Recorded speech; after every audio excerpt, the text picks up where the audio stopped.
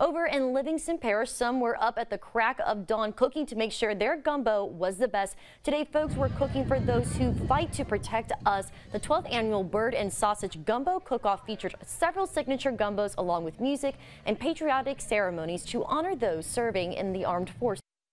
They have a lot of good competitors out here, like trying to cook the, the gumbo that everybody likes. And uh, we just have a great time doing it. Everybody comes out here and fellowships. And it's basically about the community getting together and supporting this great cause with the veterans. All the proceeds donated at the cook-off will go back to the Louisiana Honor Flight, Blue Star Moms, and Baton Rouge Soldier Outreach.